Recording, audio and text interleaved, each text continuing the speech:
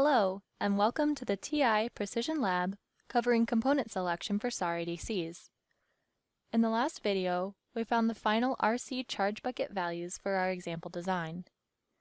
In this video, we will perform several SPICE simulation tests to confirm that the design meets our performance criteria. This video shows the results of the final simulations generated after following the process for selecting the external components for a SAR ADC. Once you have completed the selection of the amplifier and RC circuit, you may still need to perform additional simulations to make sure that your design is robust and meets all your design criteria. One common test is to temporarily increase the acquisition time to confirm that the error is really settled. The point here is that it is possible for the error settling waveform to coincidentally pass through zero at the end of the acquisition period. The simulation results on the left show this case. The settling for this example appears to be good as the final error is inside the error target. However, if you take the same circuit and expand the acquisition window, you will see that the signal isn't really settled. You can see this in the figure on the right. Ideally, you want the error signal to be fully settled and do not want to rely upon the error signal crossing through zero at the end of the acquisition period. The problem is that process variation may cause the response to change and the error may not cross through zero at the end of acquisition. It should be noted that a small settling error after the end of the acquisition is acceptable as long as it doesn't exceed one half of an LSB. Finally, don't forget to set the acquisition time back to the specified value at the end of this test. This adjustment is for the simulation of settling time only and does not apply to the real circuit. Another approach to looking at settling beyond the end of the acquisition period is to look at the op-amp output. This serves a similar purpose to expanding the acquisition period in that a robust design's op-amp output will be settled to one half of an LSB at the end of the acquisition period. Another verification is to make sure that the settling doesn't change across multiple cycles. You should always discard the first cycle as this contains startup errors. Some designs will have a long-term settling error that creates inconsistent results from sample to sample. Ideally, you want all conversion results to be consistent after the first cycle. Up to this point, our simulations have all included a DC input signal. This makes it easy to optimize the RC charge bucket circuit, but may not match your real-world conditions.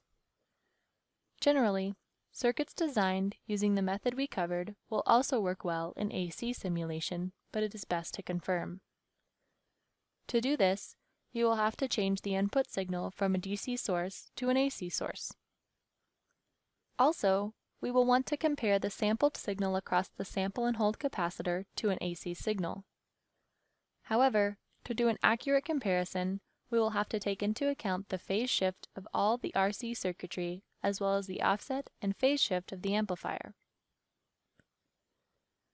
This graph shows the results for an AC simulation for the previous circuit. You can see many acquisition periods and the sample and hold circuit tracks the input signal for each acquisition period. You can also see charge kickback spikes on the filter output voltage. The one thing that we don't show here is the error signal. In the next slide, we will zoom in on these signals and see how a phase shift can impact error. This slide zooms in on the AC simulation results. You can see that the sample and hold signal tracks the filter signal well during acquisition and holds at the end of the acquisition. Notice how the input signal does not track the filter signal. There is a phase shift from the filter and also from the internal sampling network. Because of the phase shift, we cannot simply compare the input signal to the sample and hold voltage to calculate an error. This circuit shows how to check error in an AC SAR simulation. The top path for this circuit is the standard amplifier and sample and hold circuit that we developed earlier. The bottom circuit is the same as the top circuit, except that the acquisition switch is permanently shorted and there is no end of conversion reset switch. In other words, The bottom circuit has all the phase delays from the top circuit, but none of the switched sample and hold behavior. The bottom is an ideal signal that we can compare the sampled signal with. Notice the voltage-controlled voltage source is used to compare the sampled and ideal signal to generate the error signal. This slide shows the sample and hold signal compared to the ideal signal that includes the phase shift. Notice that now the ideal signal tracks the input well, whereas before there was a significant error from the phase delay of the RC filter. To properly test the AC error, you should look at error at several points on the sine wave. Make sure you check where the sine wave moves fastest, in other words 45 degrees, 135 degrees, 225 degrees, and 315 degrees. As we did previously, the error needs to be examined immediately at the end of the acquisition period. In this example, you can see the cursor is set to the end of the acquisition period and a legend is created. The legend lists the value of all the signals at this point in time. In this case, you can see that the error signal is 14 microvolts, which is well within the 1 half LSB error target. That concludes this video. Thank you for watching. Please try the quiz to check your understanding of this video's content.